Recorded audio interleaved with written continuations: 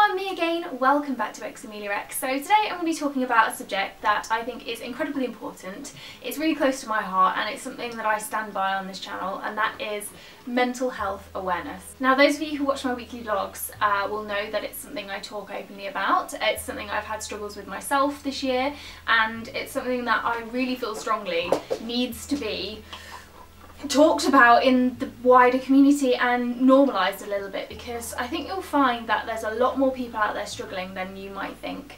And I guarantee that pretty much everybody watching this video will have been through some kind of uh, mental health problem or know somebody who has. So for me, my mental health journey started this year when um, I was diagnosed with depression about two, maybe three months ago now.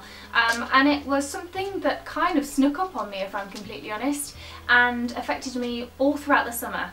I didn't realise I had depression until I went to my GP and spoke to her about it. Um, I didn't I knew something was wrong with me but I didn't know exactly what. I'd have horrendous mood swings. I'd be furiously angry one minute, uncontrollably sobbing the next for hours on end, and then feeling completely hopeless, really paranoid, really anxious, and then also just feeling completely numb. It was just absolutely exhausting, and it really started to take a toll on my relationship and my friends. Um, and, I, and me, I, my self-esteem, you start to feel incredibly worthless and like you're a burden on anybody uh, that you come into contact with because you're either too miserable or unreliable or really anxious and worried and all you can talk about are these things that are going on in your mind which probably I know are going to happen but they're really stressing you out and it became a real problem so much so that I decided to reach out for help. The reason why I didn't think I had depression was because I've got nothing to be depressed about. You know, I have a great house, I have an adorable little puppy, a fantastic job, friends, family, a boyfriend, and I just didn't think I had any reason to feel that way or that I was even worthy of the word depression.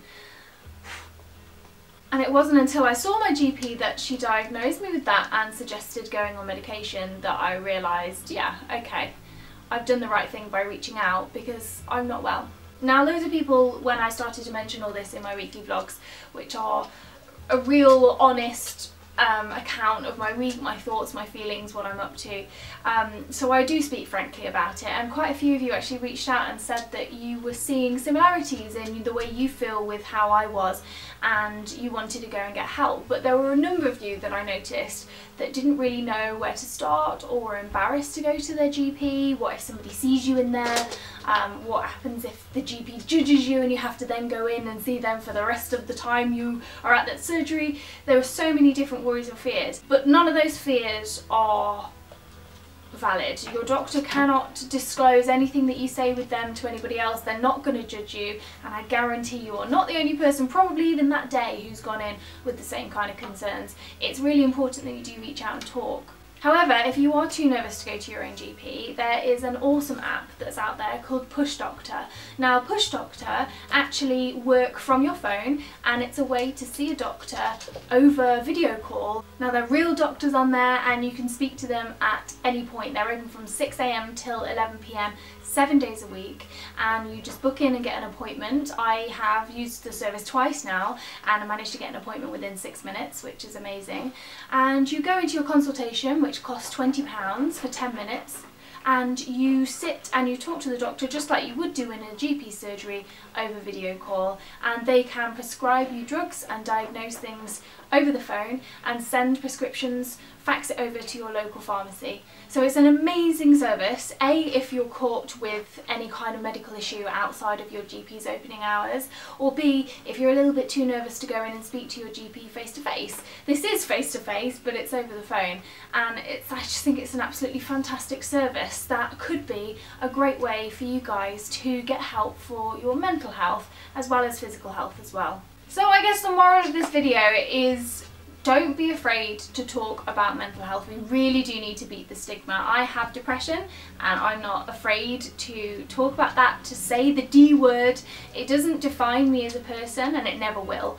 Um, and I think that's really important to remember if you are suffering yourself. I know a lot of people who are on them, but their friends and their family uh, don't know.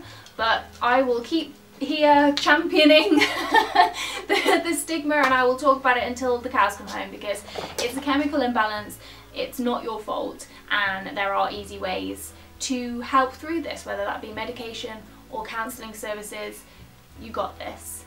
Just don't be afraid to ask for help. That's about it for today guys. Thank you so much for watching. I really hope this video has helped in some way.